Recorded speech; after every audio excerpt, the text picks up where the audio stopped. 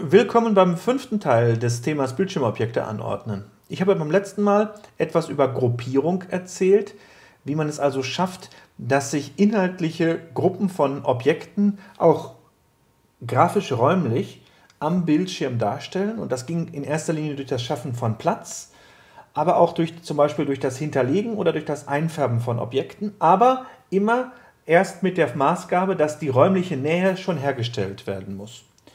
Was häufig gemacht wird am Bildschirm ist eine Umrahmung von Objekten, also ein Rahmen um etwas herum gezeichnet und dann wird gesagt, das, was in diesem Rahmen drin ist, das äh, gilt als zusammengehörig. Funktioniert das? Ja, das funktioniert. Man erkennt das tatsächlich als zusammengehörig oder man kann sich das zumindest ähm, als zusammengehörig rekonstruieren, wenn man sich das anguckt. Aber es ist eine in unserem Sinne, vor allen Dingen in Bezug auf die äh, Architektur der Wahrnehmung, nicht besonders gute Lösung. Es gibt eine bessere Lösung. Deswegen sagen wir, anstatt zu umrahmen, sollte man stapeln. Und was das heißt äh, und was man dann machen sollte, das schauen wir uns hier mal jetzt an. Schaut euch dieses Beispiel mal an, etwas äh, schematisch dargestellt, eine typische Eingabemaske und jetzt, äh, äh, naja, guckt ihr mal wieder mit eurem Daumennagel da drauf und seht in nur einem kleinen Bereich scharf. Und das haben wir hier in der Mitte dargestellt. Und was seht ihr denn da, wenn ihr da hinguckt? Ja, ihr seht viele Linien. Und das Problem ist, dass aus diesem Ausschnitt heraus nicht klar ist, wohin sich diese Linien schließen werden. Also wo ist, endet ein Objekt und wo beginnt ein Objekt, kann man ganz schwer nur darstellen oder sich, kann man sich ganz schwer nur erschließen, eigentlich sogar gar nicht erschließen, wenn man in diesen kleinen Bereich hier reinguckt. Das heißt, denkt an die Hypothesenbildung.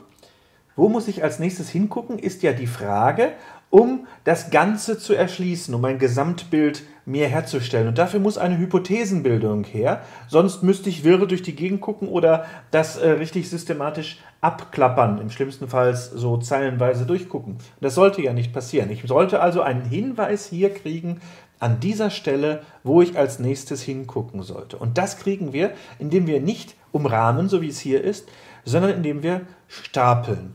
Worum es also geht, sieht man hier, es geht um die Hypothesenbildung bezüglich der Schließung der Figur. Also in welche Richtung geht, setzt sich die Figur eigentlich fort. Und ähm, wir haben an dieser Stelle keine gute Grundlage für eine Hypothesenbildung. Es ist auch nicht besonders plausibel, dass sich eine solche Grundlage für eine Hypothesenbildung irgendwo in unserem Wahrnehmungssystem ergeben haben sollte, denn solche Situationen gibt es überhaupt gar nicht. Wir haben in der natürlichen Umwelt keine Umrahmung in Reinform irgendwo, denn wir haben immer Flächen, äh, flächige äh, äh, Objekte oder gebogene Objekte, auf jeden Fall immer was Größeres, was sich zu einer anderen Fläche oder einem anderen Objekt irgendwie verhält. Denkt daran, wir haben die Grundhypothesen von dreidimensionalen, einander verdeckenden, äh, beleuchteten Objekten. Diese drei Grundhypothesen äh, liegen dem immer zugrunde. Und da passt das eigentlich nicht dazu, dass wir so eine Darstellung hier haben. Guckt euch das mal an. Also ihr erkennt jetzt, wenn ihr das euch erwandert, dass wir auf der linken Seite zwei umrahmte Bereiche haben und auf der rechten Seite einen. Aber wenn ihr genau in diesen Kreis nur hineinschaut und guckt euch den mal in Größe an, dann könnt ihr da gar nichts erkennen. Das ist jetzt halt so dieser Bereich in der Mitte. Ja, was was will man da erkennen? Äh, wo, wo endet eine Figur, wo beginnt die andere? Guckt es euch im Vergleich mal hier an. Naja, wie geht es denn jetzt? Kann man jetzt denn erkennen, äh, wo eine Figur beginnt und wo die andere Figur endet? Wir haben jetzt wieder diese ähm, Relief-Idee, also wir haben eine von links oben kommende Beleuchtung, die uns auf die Objekte drauf scheint, die dafür sorgt, dass die linke und obere Kante hell erleuchtet ist und die rechte und untere Kante dunkel äh, erscheint. Ja, und wenn ich jetzt hier gucke, kann ich jetzt an dieser Stelle feststellen, äh, wohin sich die Sachen fortsetzen. Na klar, ohne Probleme. Denn ich kann jetzt erkennen, dass es sich hier um zwei rechte Kanten auf der linken Seite handelt und um eine helle Kante auf der rechten Seite. Und das einfach nur durch das Einfärben dieser Kanten an dieser Stelle. Überhaupt kein Problem. Ich sehe, diese Figur links setzt sich nach hierhin fort und die andere auch. Und diese Figur setzt sich nach dorthin fort. Und das sehe ich sofort auf einen Blick. Deswegen wirkt das Ganze hier plastischer und kann schneller so wahrgenommen werden. Das ist natürlich wieder mal nicht die einzige Möglichkeit. Ich kann auch mit Schatten arbeiten. Das sehen wir zum Beispiel hier. Diese Variante, da haben wir einen Schattenwurf auf die Fläche. Also das sieht jetzt hier als ein Schattenwurf, der so ist, als wären wir selber als Betrachter diejenigen, die das Licht werfen. Deswegen wird in alle Richtungen hin nach hinten ein Schatten geworfen. Und auch hier kann ich, wenn ich mir den Kreis angucke, an jeder Stelle erkennen, ob es sich um wo die oben liegende Fläche ist und wo äh, die unten liegende Fläche ist. Denn auf die unten liegende Fläche wird ja der Schatten geworfen und auf die andere entsprechend nicht. Das funktioniert also hier auch. Es ist allerdings nicht ganz so extrem prägnant wie die Sache mit den Kanten gerade. Aber es funktioniert im Gegensatz zu der Sache mit den Kanten halt auch auf weißem Hintergrund. Und das ist natürlich ein Vorteil. Wenn ich das mit weißem Hintergrund mache, naja, dann kann ich auch jetzt hier erkennen, dass rechts eine Fläche beginnt und links äh, zwei Flächen aufeinander gestapelt sind, die dort jeweils enden. Nur wenn ich in diesen kleinen Kreis hineingucke. Ich kann es noch unterstützen, das Ganze, indem ich die Flächen selber mit verschiedenen Helligkeitswerten belege. Das kennen wir ja schon von der Buttongestaltung. Wie kriege ich es hin, dass der Button erhaben über dem anderen erscheint?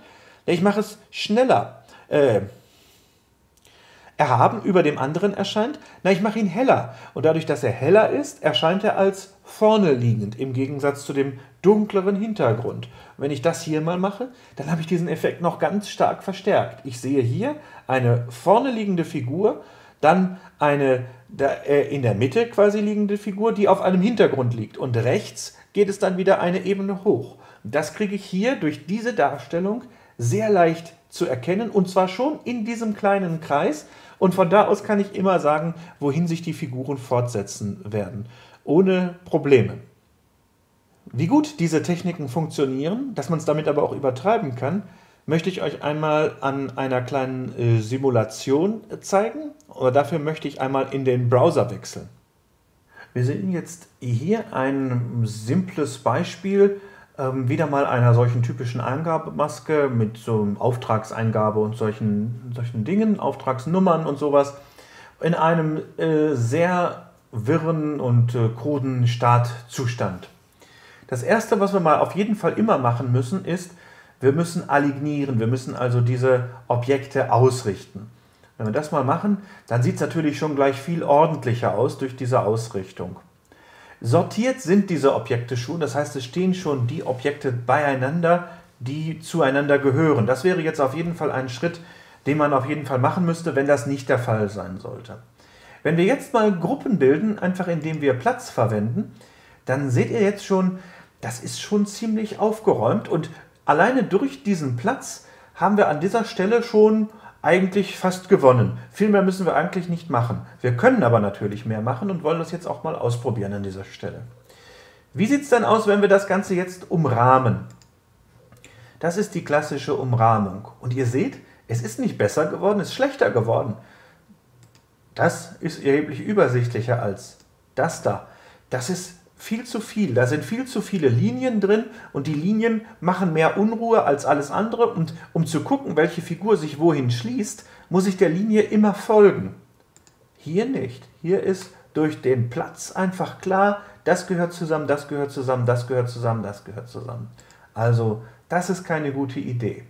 Wie sieht es aus mit den Reliefkanten? Reliefkanten war ja die Idee, ich habe links oben eine Lichtquelle, dann habe ich linke und obere Kanten hell beleuchtet und rechte und untere Kanten dunkel beleuchtet? Aha, ja, das sieht doch viel besser aus als so. Ein gewaltiger Unterschied. So kann man plastisch erkennen, welche Bereiche es gibt. Und hier in den Eingabefeldern habe ich es entsprechend umgekehrt, dass die sich nach innen hineindrücken. Das ist ja auch die Konvention, die man hat für Eingabefelder.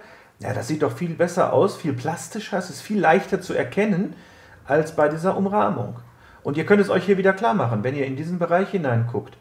Äh, ich kann nicht erkennen, dass diese Kante, wenn ich sie sehe, dass die die Figur nach hier hin schließt und dass das hier der Hintergrund ist. Das kann ich nicht erkennen. Bei der Umrahmung, äh, beim Relief geht das ohne Probleme. Da erkenne ich, dass es eine rechte Kante und die Figur schließt sich nach hier hin. Ja, wie sieht es anders aus? Was können wir noch machen? Wir gucken mal hier auf Relief und Grauabstufung. Ah ja, jetzt ist es noch viel plastischer und noch viel besser erkennbar, was vorne liegt und was hinten liegt. Und ich habe hier mal die Eingabefelder heller gemacht. Das ist auch so eine gewisse Konvention, obwohl sie nach innen hineingedrückt sind. Aber sie wirken jetzt wie in einem anderen Material. Und wir haben jetzt diese Grauabstufung und können jetzt wirklich sehr angenehm erkennen, worum es sich handelt, dass es sich hier um verschiedene Bereiche handelt. Machen wir es stattdessen mal mit, mit Schlagschatten. Ja, funktioniert auch, ähm, aber ist nicht so plastisch wie hier. Ne? Also na, also ich würde persönlich aus rein ergonomischer Sicht diese Gestaltung äh, bevorzugen. Gucken wir uns die mal an mit zusätzlichen Farbverläufen, beziehungsweise sind Helligkeitsverläufe von oben nach unten. Ja, ähm, der Unterschied ist nicht gewaltig, ne, wenn man das mal sich anguckt. Aber äh, es sieht etwas plastischer einfach dadurch aus, dass ich einen solchen Helligkeitsverlauf habe von oben nach unten. Und zusätzlich habe ich immer noch die Kanten drin, also die dunklen Kanten hier und die hellen Kanten da. Kann ich auch mit dem Schatten natürlich machen, ja. Aber auch hier würde ich immer noch sagen, na, also diese Variante gefällt mir besser oder vielleicht diese, weil sie einfacher ist. Ja, und als zehntes habe ich hier nochmal drin den Schatten plus das Relief plus die Farbverläufe. Uh, also wenn ich mir das jetzt angucke, das ist des Guten zu viel. Das sieht ja jetzt aus wie irgendwie, weiß ich auch nicht, eine Badarmatur oder so. Also es ist viel zu extrem, viel zu aufgedonnerter Effekt, den wir jetzt hier an dieser Stelle haben. Das sollte man vielleicht doch lassen. Ihr seht, man kann also des Guten auch zu viel tun, aber generell sind diese Techniken, die diese Plastizität erzeugen, gerade dafür gut oder gerade da gut, wenn ich in einen kleinen Bereich nur hineingucke, einen, mir einen kleinen Bereich nur angucken kann, dann kann ich in diesem Bereich schon erkennen, was vorne liegt, was hinten liegt, in welche Richtung sich eine Figur fortsetzt. Schaut euch dieses Beispiel mal an aus äh, BitOWL, also eine Art Panda für Schulen. Ihr seht, der Screenshot ist schon ein paar Tage alt und äh, da haben wir damals ein paar Optimierungen gemacht und was ist der Unterschied zwischen der linken und der rechten Seite? Es gibt einen zusätzlichen Schatten, nämlich einen Schatten hinter diesem vorne eingeblendeten Bereich. Und guckt mal, wie sehr dieser Schatten dafür sorgt, dass man äh, erkennen kann, was der vorne liegende und was der hinten liegende Bereich ist. Das ist das gleiche, wie in welche Richtung sich die Figuren jeweils fortsetzen. Es ist nur ein ganz kleiner Unterschied, aber die Wirkung ist durchaus groß. So viel zur wichtigen Technik des Stapelns anstelle eines Umrahmens. Und äh, wir beenden diese Reihe mit einem weiteren Video, mit einem zusammenfassenden Beispiel eines, äh, einer Gestaltungsaufgabe.